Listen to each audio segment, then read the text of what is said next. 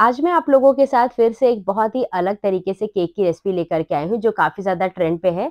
Trend वाला ये जो केक है, बहुत ज़्यादा अमेजिंग है और बहुत ही सिंपल है। इसे बिगनर्स कैसे बना सकते हैं, वो आपको इस वीडियो में देखने को मिलेगा। सो यहाँ पर मैंने दो स्पॉन्ज बना करके पहले ही रख लिया था।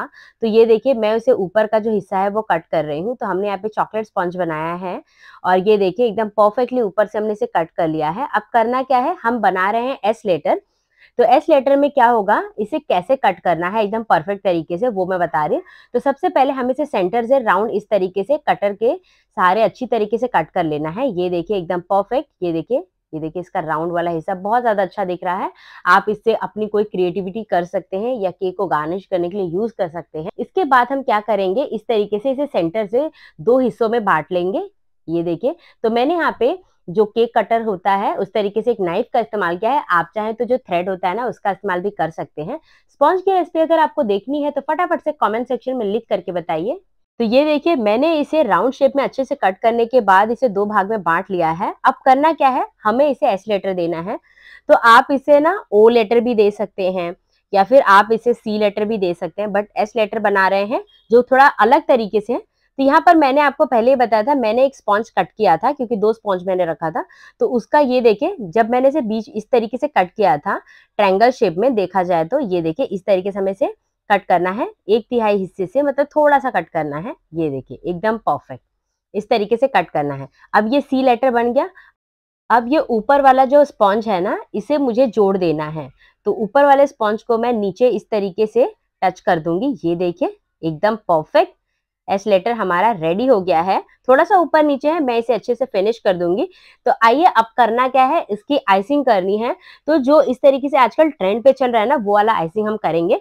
तो मैंने यहाँ पे टर्न टेबल पे एक बोर्ड ले लिया है और तैयार किया हुआ हमारे एस लेटर को रखना है। सो हम जैसा मैंने आपको दिखाया था, वैसे ही रखेंगे और ऊपर से हल्का सा क्या करेंगे, एक नाइफ के थ्रू प्लेन कर लेंगे ताकि इक्वली हो जाए, क्योंकि आप देख सकते हैं ना थोड़ा सा ये ऊँचा है तो मैं इसे हल्का सा कट कर लूँगी। ये देखिए एकदम परफेक्ट सो so, अब मैंने बताया था जैसा कि जब भी मैं आपको स्पॉन्ज बताती हूँ या कोई केक डेकोरेशन बताती हूँ उसमें चीनी पानी का घोल डालना ज़रूरी है। इससे क्या होगा आपका जो केक है ना बहुत ज़्यादा सॉफ्ट होगा मॉइस होगा खाने में और जब आप इसे फ्रिज में भी रखेंगे ना तो बिल्कुल हार्ड नहीं होगा। अगर आप मेरे साथ यानी गोल्डिस किचन के साथ केक का वर्कशॉप सीखना चाहते हैं ऑनलाइन ऑफलाइन क्लासेस लेना चाहते हैं तो जल्दी से मुझे मेल कर दीजिए। मैं वहाँ पर आपको सारे डिटेल्स शेयर कर दूँगी। या फिर आप मुझे इंस्टाग्राम पे डीएम भी कर सकते हैं और डीएम करने के बाद मुझे फॉलो ज़रूर कर लेना। फेसबुक पे भी आप मुझे फॉलो कर लेना। सो अब क्या करेंगे? मैंने यहाँ पे पहले से ही विपिंग क्रीम बना करके रखी थी और इस तरीके से मैंने नौ नंबर का इसमें नोजल डाल दिया था। और इस तरीके छोटे छोटे हमें फ्लावर्स कह लो या स्टार कह लो, ऐसे हमें बना लेना है। आप चाहें तो विदाउट नोजल भी इसमें छोटे छोटे ड्रॉप्स डाल सकते हैं, जैसा कि आपने देखा होगा वड़ी वगैरह बनाते हैं, उस तरीके से भी अगर आप कलाकार हैं तो आपको बिल्कुल समझाने की ज़रूरत नहीं है। तो इस तरीके से ये देखिए, ये बिगनर्स के लिए मैं बता रही हूँ। तो इस तरीके छोटे छोटे हमें स्टार बना लेने हैं छोटे छोटे फ्लावर्स बना लेने हैं, ताकि हमारा ये जो केक है, बहुत ही अच्छा दिखे। आप चाहे तो पूरा इसे कोट भी कर सकते हैं बट हम ट्रेंड के हिसाब से ही चलेंगे। सो ये देखिए, बहुत ही अच्छे से मैंने एस लेटर को छोटे छोटे स्टार से यानी विपिंग क्रीम से कवर कर लिया है। अगर कहीं खाली स्पेस दिखे तो उसे भी आप अच्छी तरीके से फिल कर सकते हैं। ये देखिए, एकदम परफेक्ट। अब क्या करेंगे, जो दूसरा वाला स्पॉन्ज मैंने बनाया था ना, वो हल्का सा टूट गया था। बट कोई बात नहीं हमें आना चाहिए कि अगर टूटा हुआ स्पॉन्ज है तो उसे कैसे रीयूज कर सके।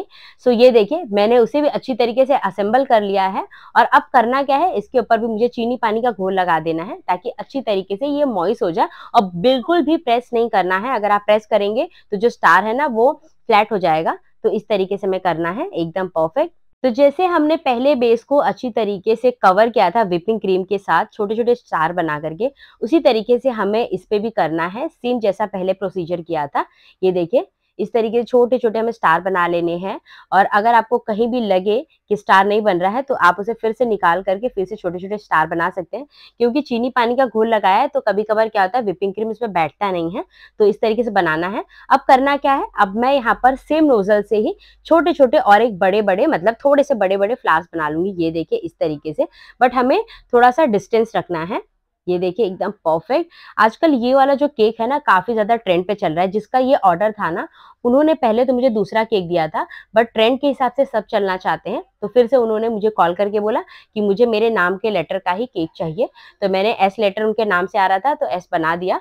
और फिर मैंने क्या किया थोड़ा सा और हल्का सा रेड फ़ूड कलर डाल करके सेम विपिंग क्रीम में मैंने यहाँ पर दूसरा नोजल लगाया, जो शेल्स होते हैं, उस वाला नोजल का इस्तेमाल किया। और यहाँ पर रेंडमली छोटे छोटे मैंने फ्लावर्स बना लिए। ये देखिए, एकदम परफेक्ट इस तरीके से। बहुत ज़्यादा हमें इसकी खिचड़ी नहीं बनानी है, बस हल्का हल्का फिल करना है। और थोड़ा सा आप चाहें ना तो इसमें येलो कलर भी ले सकते हैं। येलो कलर बहुत अच्छा लगेगा। तो मैंने थोड़ा सा पिंक कलर का भी इस्तेमाल किया था इस केक में।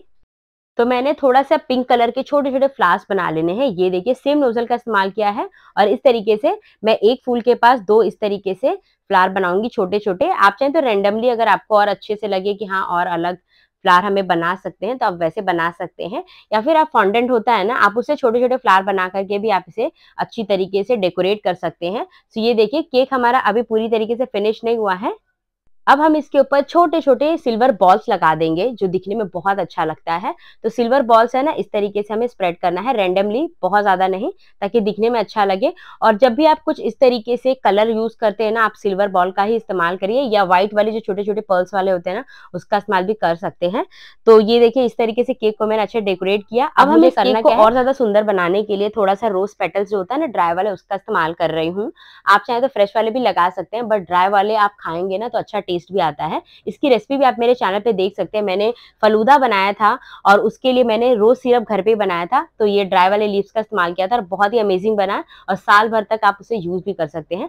सो इस तरीके से केक को मैंने बहुत ही अच्छी तरीके से डेकोरेट किया और बहुत अच्छा दिख रहा हमारा केक सो so फाइनली आप देख सकते हैं कि एस लेटर का केक हमारा रेडी हो गया है और उस पर मैंने लगा दिया है बर्थडे वाला लोगो तो आप इस तरीके से भी केक बना सकते हैं और जिसका ये केक था ना, वो बहुत खुश हो गए इस तरीके से अमेजिंग सा कलरफुल केक देख करके। वैसे उनकी एज थोड़ी बड़ी थी बट कोई बात नहीं, इस तरीके से मैंने थोड़ा कलरफुल बना दिया और उन्हें बहुत अच्छा लगा। तो आप इसी तरीके से जो आपको लेटर पसंद है, उस तरीके से आप केक बना सकते हैं और कमेंट सेक्शन में ज़रूर लिख करके बताना कि अगला केक हमारा कौन से लेटर पे होगा या कौन सा फ्लेवर होगा। सो so गाइस आज का वीडियो हम स्टॉप करते हैं. Thank you for watching gold kitchen bye friends इसी तरीके से आप मेरे वीडियोस को देखते रहिए, मुझे सपोर्ट करिए. Thank you for watching gold kitchen bye